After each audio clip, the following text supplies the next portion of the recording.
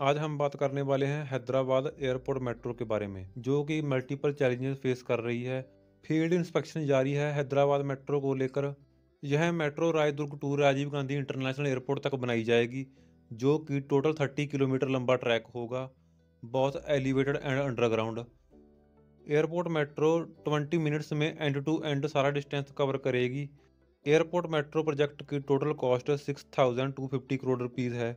But यह metro path काफ़ी challenges face कर रहा है, जैसे कि flyovers underpasses high rise buildings at different locations specially on critical stretch of Raidurg station to Nanakramguda junction पहली सबसे बड़ी प्रॉब्लम है कि माइंड स्पेस जंक्शन को कैसे क्रॉस किया जाए? इसको क्रॉस करने के लिए 69 फीट ऊँची एलिवेटेड कॉरिडोर बनाना होगा। वहाँ पर अंडरपास भी है रोटरी भी है और फ्लाईओवर भी है। दूसरी सबसे बड़ी प्रॉब्लम है बायोडाइवर्सिटी जंक्शन वहाँ पर मल्टी लेवल फ्लाईओवर के ऊपर बायोडक्ट बनानी पड़ेगी मेट्रो को निकालने के लिए 20 मीटर की ऊंचाई पर।